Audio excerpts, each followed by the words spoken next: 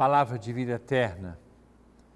Do Evangelho de São Mateus, capítulo 2, versículos 13 a 18.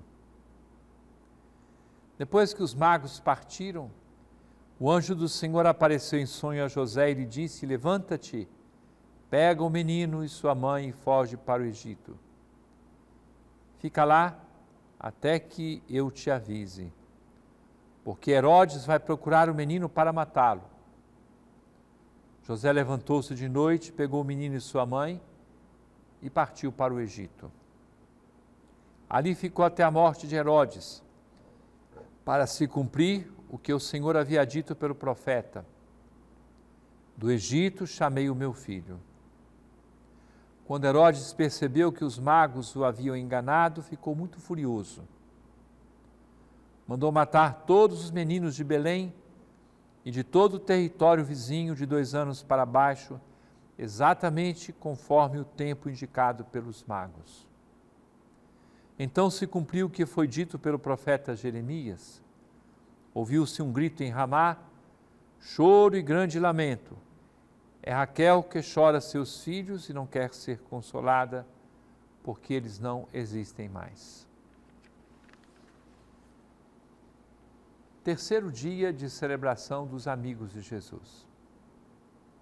Estevão, primeiro Marte, João, amigo do peito, e aquele grupo de crianças. Certamente não era uma multidão, Belém era um lugar muito pequeno, mas aquelas crianças que, sem nunca ter pronunciado o nome de Jesus, foram mortas por causa de Jesus. A amizade com Jesus muitas vezes acontece até de uma forma anônima pessoas que foram mortas como consequência do ódio, da falta absoluta do amor.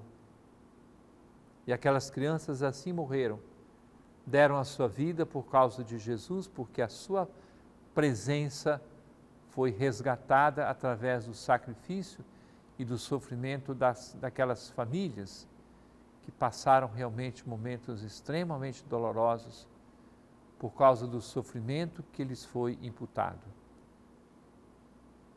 Penso que a amizade com Jesus deve levar-nos a não desperdiçar qualquer sofrimento, qualquer perseguição, incompreensão, mas aprender a oferecer tudo, a recolher, não julgar fora nada que possa ser transformado em amor.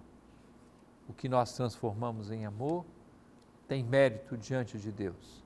E quando reconhecemos o amor das pessoas por Deus e umas pelas outras, nós estamos fazendo festa pela grandeza do amor de Deus espalhado em nossos corações.